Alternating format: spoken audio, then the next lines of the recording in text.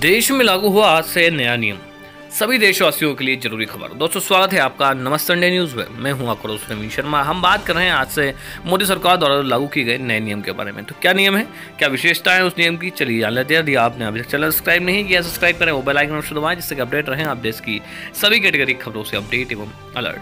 दोस्तों, मोदी सरकार ने लागू किया नया कानून। धोखाधड़ी करने वालों की अब खैर नहीं।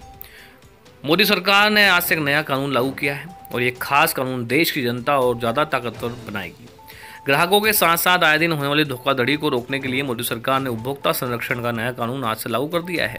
उपभोक्ता संरक्षण अधिनियम दो हज़ार उन्नीस को 20 जुलाई से लागू करने के लिए अधिसूचना जारी कर दी गई थी। नए कानून के उपभोक्ता संरक्षण अधिनियम उन्नीस सौ छियासी की जगह ली है। केंद्रीय उपभोक्ता मामले, खाद्य और सार्वजनिक वितरण मंत्रालय के सूत्रों का कहना है कि नया कानून बीस जुलाई यानी कि आज से लागू माना जाएगा। नया उपभोक्ता संरक्षण अधिनियम दो हज़ार उन्नीस को सरकार की अधिसूचना कर दिया गया है। इस नए कानून के लागू होते ही ग्राहकों के हितों में रक्षा के लिए कई नए नियम लागू हो गए हैं, जो पुराने एक्ट में नहीं थे। खास तौर पे पिछले कुछ सालों में आए नए बिज़नेस मॉडल में को भी इसमें शामिल कर लिया गया है। नए कानून की क्या है विशेषताएँ? दोस्तों, नए कानून में उपभोक्ताओं को भ्रामक विज्ञापन जारी करने पर भी कार्रवाई की जाएगी। उपभोक्ता देश के किसी भी मंजूर का कोर्ट में मामला दर्ज करा सकता है। नए कानून में ऑनलाइन और टेली शॉपिंग कंपनियों को पहली बार शामिल किया गया है। खाने पीने की चीज़ों में मिलावट होने पर कंपनियों पर जुर्माना और जेल का प्रावधान है।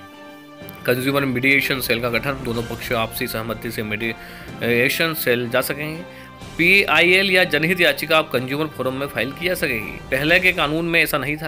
कंज्यूमर फोरम में एक करोड़ रुपए तक के केस दाखिल हो सकेंगे। State consumer distribute redressal commission में एक करोड़ से दस करोड़ रुपए तक के केस की सुनवाई होगी। National consumer distribute redressal commission में दस करोड़ रुपए के ऊपर केसों की सुनवाई होगी। बताते चले कि संरक्षण अधिनियम दो उन्नीस काफ़ी समय पहले तैयार हो चुका था। हालाँकि इस कानून को कुछ महीने पहले ही लागू होना था, लेकिन कोरोना महामारी फैलने और लॉकडाउन की वजह से इसे टाल दिया गया था। अगले हफ़्ते में ये नए कानून को लागू कर दिया जाएगा। तो दोस्तों, फ़िलहाल यह कानून आ चुका है, पास हो चुका है, पर इसको लागू होने में एक हफ़्ता लगेगा। तो आपके साथ भी कुछ धोखाधड़ी होती है। उपभोक्ताओं के तौर पर तो आप इस पर कार्रवाई कर सकते हैं और अपने कंज्यूमर फोरम में इसकी शिकायत कर सकते हैं। तो बड़ी अपडेट है। वीडियो को शेयर करें ताकि सब लोग जान सके लेटेस्ट अपडेट को बढ़ा सके देश की सभी कैटेगरी खबरों से अपडेट एवं अलर्ट।